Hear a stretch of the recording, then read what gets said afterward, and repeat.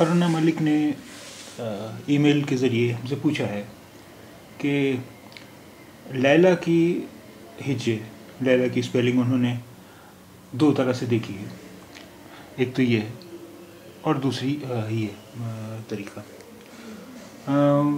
उन्होंने ये भी जानना चाहा है कि क्या लैला की हिज्जे इस तरह नहीं लिखी जा सकती? देखिए पहली चीज़ तो ये है कि लैला के हिज्जे लैला की स्पेलिंग का जो अरबी तरीका है, उसमें एक ये भी है कि ये पर जब ये खड़ा ज़बर होता है तो इसका, इसकी आवाज़ आ जैसी होती है। लैला। और दूसरा, फ़ारसी तरीका ये है कि ये गोल गोल है। जब किसी लफ्ज़ के आखिर में, किसी शब्द के आखिर में आता है, ये गोले की शक्ल है तो उसकी आवाज़, या तो वहाँ पर हा की आवाज़ बहुत हल्की होती है, या आज आ जैसी ही होती है आ जैसी ही होती है। इसलिए ये तो फ़ारसी का तरीका है।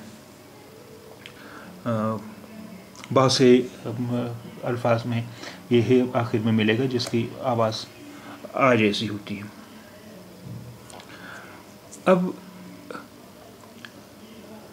बहुत सारे लफ्ज़ ऐसे हैं जिनकी स्पेलिंग धीरे धीरे बदल गई और फिर अब वही बदली हुई स्पेलिंग ही चलने लगी है। लैला की की स्पेलिंग अब उर्दू में इस तरह भी लिखी जाने लगी है। आ, लेकिन वो ये है कि जब कोई चीज़ बहुत ज़्यादा लोग लिखने लगते हैं किसी तरह से।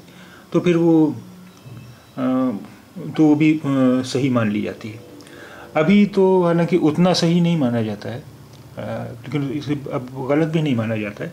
लेकिन ऐसा लगता है कि कुछ दिनों बाद, कुछ सालों बाद, ये स्पेलिंग भी पूरी तरह मान ली जाएगी उर्दू में।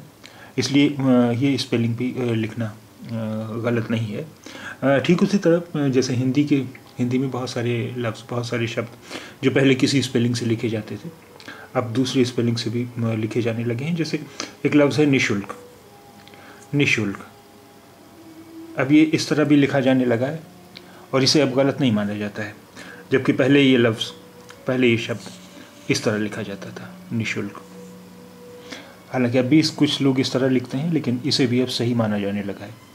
तो उसी तरह लैला की ये स्पेलिंग भी। अभी उतनी ज़्यादा प्रचलित नहीं हुई, उतनी ज़्यादा रवाज में नहीं आई है, लेकिन कुछ दिन में जल्द ही ये मानी जाने लगी कि ये भी सही स्पेलिंग और फिर इस तरह ये तीनों स्पेलिंग्स जो हैं सही होंगी।